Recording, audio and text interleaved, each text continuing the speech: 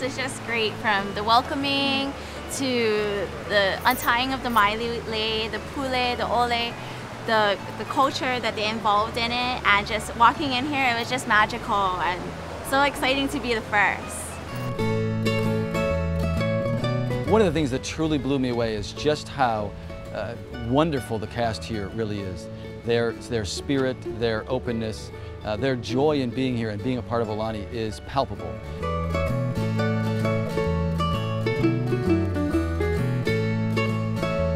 To be a part of the community means you need to be involved in the community. And from day one, we've set out to do that. Over the past three years, we've, we've given over $300,000 to a variety of organizations. Organizations that focus on our keiki, our children, conservation organizations, as well as organizations that deal with culture.